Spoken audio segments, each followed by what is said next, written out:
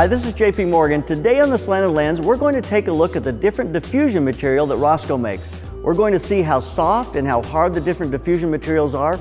We're going to see on a human face just how they wrap around and what they do not just to the face, but to the background as well. Let's go ahead and get started and see what we can do. Diffusion has been a critical part of lighting in the movie and video world for years. In the beginning, it was sheets or a shower curtain. Lights need to be softened and shaped in a way that diffusion can only do. We moved from hard light in the 50s that kind of film noir look to a softer light that demanded diffusion. I've been using Rosco on-light diffusion for 25 years.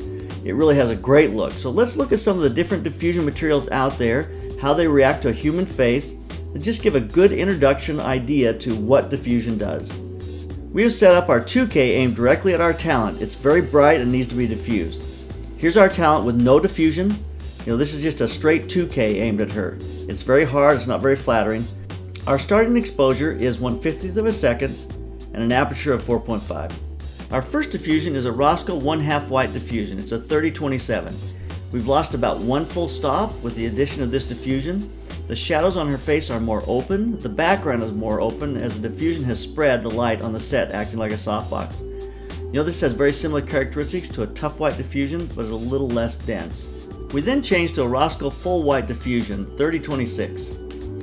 It's a dense diffusion and creates a very soft look. We've lost one full stop. It's very pretty though. It's a nice look. It's a moderate diffuser with properties that are very similar to tracing paper. This is going to create a very even field of soft light. It's not going to mess with your color temperature. It's not going to shift your color temperature. It's a tough heat resistant base so you can stick it right on those hot lights and it works great. We then changed to a tough Rolux.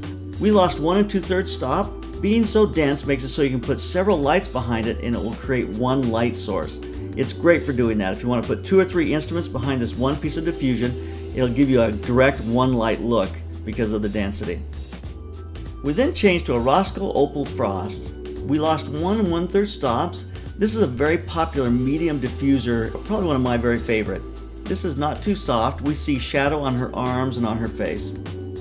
We then change to a Rosco grid cloth. We've lost two full stops. Look at the transition on her arms. It's very soft and open. This is the softest diffusion that we've seen so far. This is a great diffuser that can be sewn and grommeted, It can be used as a tenting material. You can use it for silks and things. It's similar to the material they use on creating flags. We then change to a Rosco light grid cloth. We're going to lose about a stop and a half. There's now more shadow on her arms. It still gives a very soft look. This also can be sewn and grommeted and be used for tenting material. We then change to a Rosco Silent 1 4th grid cloth. We lost one stop.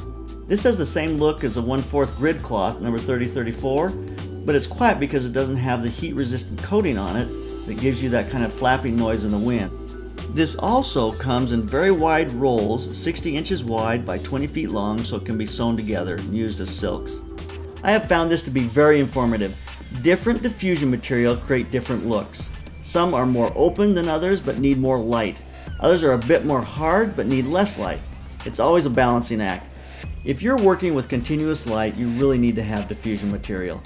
I would get at least two or three types of diffusers to keep in my lighting kit when on location, especially when shooting with hot lights. That being said, I use them with strobes as well as hot lights all the time. My favorites are the Rosco Opal Frost, the 3026 Tough White Diffusion, the 3027 1 half Tough White. I hope this has been helpful. I really wanted to give you a taste of what's out there in the diffusion world and help you to make decisions about what you want to put in your personal lighting kit. So go out there, keep those cameras rolling, and keep on clicking.